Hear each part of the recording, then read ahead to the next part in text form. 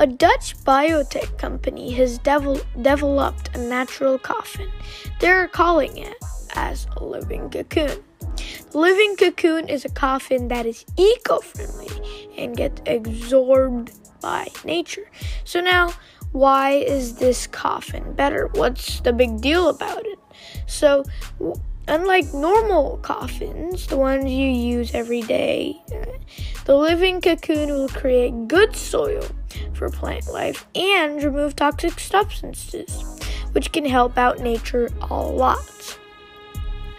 Also, the human, the living cocoon will only take two years to decompose a human body, while a normal one will take up to a decade, which is insane. So now, an important part is how does this coffin work? What's the science behind it? So the coffin is made from mycelium, and there's mycelium inside it. So what's mycelium, and what does it do?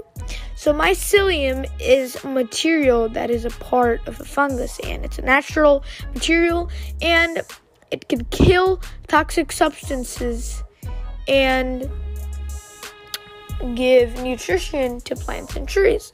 So this can help out uh, nature a lot. And I really like the fact that this coffin was created and it helps the earth and all of that.